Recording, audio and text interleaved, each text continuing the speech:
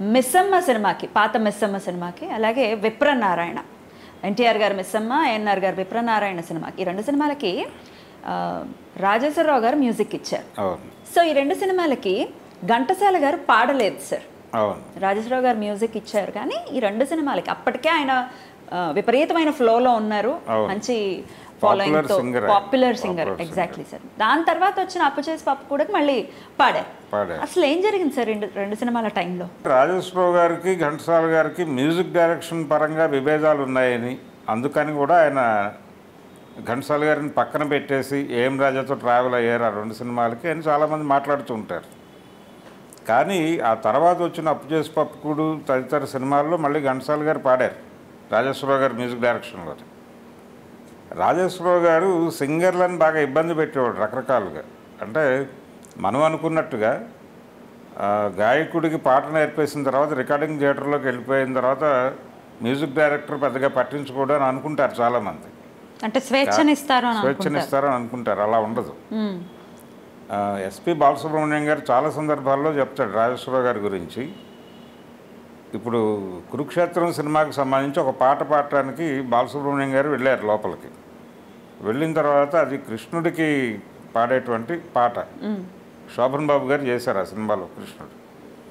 ఈయన ఆ పాట మధ్యలో ఒక పదం దగ్గర ఒక చిన్న నవ్వు నవ్వుతూ ఆ- పదం అంటాడు ఆయన. అన్న తర్వాత ఆయన రికార్డింగ్ కట్ చేసి రాజేశ్వరరావు గారు సార్ మీరు పాట పాడుతున్నది కృష్ణుడికండి. కృష్ణుడు నవ్వడండి. మీరు నవ్వకుండా పాడాలి సార్ సీరియస్గా పాడాలండి. ఇది ఇది మెహబూబా మెహబూబా పాట కాదండి. అని చెప్పి క్లాస్ పీకేటట ఇలా ఉండేది ఆయనతో. సార్ కృష్ణుడు నవ్వడా సార్? కృష్ణుడు నవ్వడం అనేది ఆయన ఆయన perception. ఆయన పర్సెప్షన్ చిలిపిగా ఒక చిన్న నవ్వు ఉంటుంది కదా సార్ నవ్వు కృష్ణుడికి నవ్వే అదే ఆ ఉద్దేశంతోనే నవ్వాడు ఆయన. కానీ ఆయన కట్ చేశాడు దాన్ని. కుదరదు సీరియస్గా పాడాల్సిందే అన్నట్టు పాడాడు. ఈయన అలాగే పాడాడు. ఇలాంటి సందర్భాలు ఘంటసాల గారికి కూడా ఎదురయ్యేవి రాజేశ్వరరావు గారి దగ్గర. ఎదురయ్యి సార్ నేను మీకు పాట నేర్పించేటప్పుడు అన్న సంగతులు మీరు యాజ్ ఇట్ ఈజ్గా అనలేదని ప్రొడ్యూసర్ గారు అంటున్నారండి అని చెప్పేవాడు ఈయన ఘంటసాల గారికి.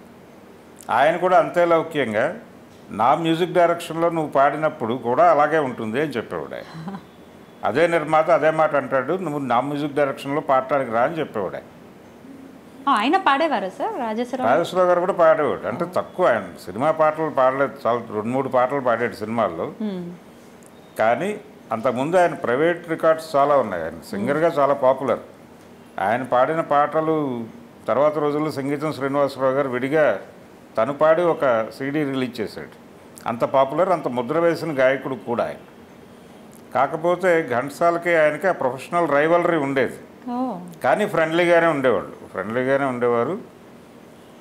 రాజేశ్వరరావు గారి మ్యూజిక్ డైరెక్షన్లో ఘంటసాల గారు చాలా పాటలు పాడాడు చాలా పాటలు పాడారు. ఆయనతో పా అంటే ఆయన కొంచెం వెటకారం ఉండేది ఆయన ధోరణిలో రాజేశ్వరరావు గారి ధోరణిలో. మాస్టారు అని పిలిచేవాడు ఈయన్ని ఘంటసాలని. మీరు నన్ను మాస్టర్ అని పిలవద్దండి అనేవాడు ఆయన. అందరూ పిలుస్తున్నప్పుడు నేను పిలవకపోతే బాగోదని పిలుస్తున్నానని చెప్పేవాడు ఆయన. అలాగే.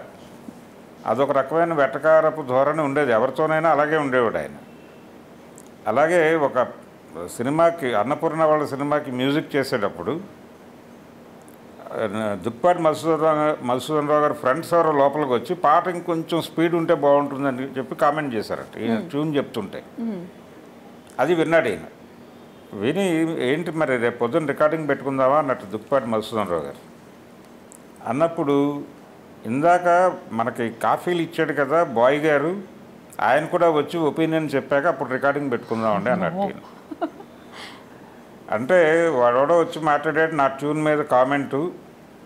ఆయన లేచి వెళ్ళిపోయాడు అంటే తన మీద ఎవరైనా మాట్లాడితే సినిమా వదిలిపెట్టి వెళ్ళిపోయాడు ఆయన మరుక్షణం.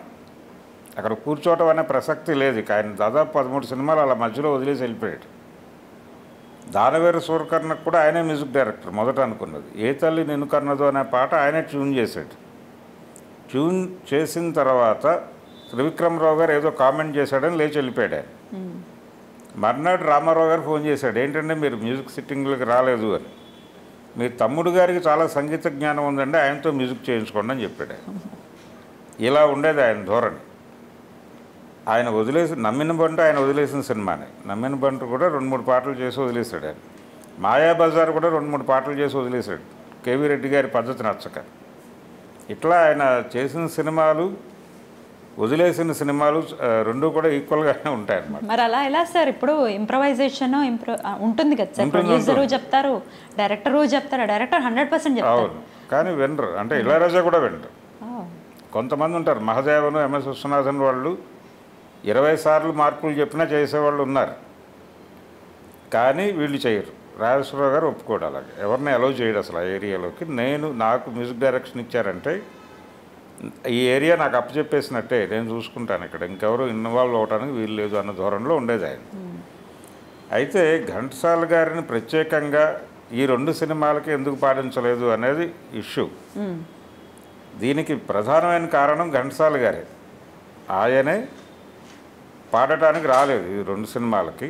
కారణం ఏంటంటే ఆయన ఆల్రెడీ మ్యారీడ్ ఆయన పిల్లలు ఉన్నారు ఆ టైంలో సరళ గారని ఒక ఆవిడతో ఆయన ప్రేమలోకి వెళ్ళాడు పెళ్ళయ్యాక. ఉమ్, ఆవిడతో ప్రేమలోకి వెళ్ళి ఆవిడని పెళ్ళి చేసుకోవాల్సిన పరిస్థితి ఏర్పడి ఆవిడని తీసుకెళ్ళి రహస్యంగా తిరుపతిలో పెళ్ళి చేసుకున్నాడు ఆయన. ఈ విషయం ఇంట్లో తెలిసింది. ఆ గందరగోళంలో ఉన్నాడు ఆ టైంలో ఆయన. ఆ గందరగోళంలో ఉండి ఏ సినిమాలకి ఆయన పాడటానికి అంత ఉత్సాహం చూపించలేదు ఆ టైంలో. వీళ్ళు వచ్చి పిలిచేవాళ్ళు ఆయన. కానీ ముందు ఈ ఈ గొడవ సెటిల్ చేసుకున్న తర్వాతే మళ్ళీ కెరీర్ మీద దృష్టి పెట్టాలి అనుకున్నాడు ఆయన. మరి ఆ టైంలో వచ్చిన అయితే ఈ రెండు సినిమాలు ఏంటి ఏ సినిమాలోనూ పాడుండరు. అంటే ప్రధానంగా ఈ రెండు సినిమాలు తర్వాత దేవదాస్ కూడా సుబ్బరామన్ గారు వేరే సింగర్తో పాడించేసుకున్నాడు పాటలు. పాడించేసుకుని అవి నచ్చక మళ్ళీ ఘంటసాల కోసం వెయిట్ చేసి అందులో ఆయనతో పాడించుకున్నారు. పిఠాపురం నాగేశ్వరరావు గారితో పాడించారు ఆ పాటలు. పాడించి నచ్చక ఆపి మళ్ళీ ఈయన తీసుకొచ్చి పాడించుకున్నారు. ఆ టైం దాదాపు ఒక ఆరు నెలలు ఆయన ఆ క్రైసిస్లో ఉన్నాడు. ఆ క్రైసిస్లో ఉండటం వల్ల ఆ రెండో పెళ్ళి క్రైసిస్ వలన ఆయన ఈ సినిమాలకు పాడలేదు తప్ప రాజేశ్వరరావు గారు ఏదో ఈయనతో విభేదాలు ఉండి పక్కన పెట్టేసి ఏం రాజాని తీసుకొచ్చి పాడించటం కాదు. అది ఘంటసాల గారి స్వయంకృతం. అలాగే ఆ సెకండ్ వైఫ్ పిల్లలు కూడా ఇప్పుడు చాలా అభివృద్ధిలోకి వచ్చారు. వాళ్ళు మెడ్రాస్లో చాలా అంటే చాలా పాపులర్ దీనిలోనే ఉన్నారు ఇప్పుడు. ఘంటసాల గారి సెకండ్ వైఫ్ కోడలు ఆవిడ చాలా పెద్ద డాన్సర్ అట్లా అంటే రెండు కుటుంబాలని నిలబెట్టాడు ఆయన. ఈ అయితే ఈ సెకండ్ వైఫ్ గురించి ఎక్కడా బయటకు రాకుండా చూసుకునేది ఆవిడ సావిత్రమ్మ గారు మొదటి భార్య. కండిషన్ కూడా అది. మీరు ఎక్కడ ఓపెన్ ఇంటర్వ్యూలో ఆ సెకండ్ వైఫ్ గురించి మాట్లాడకూడదు అని.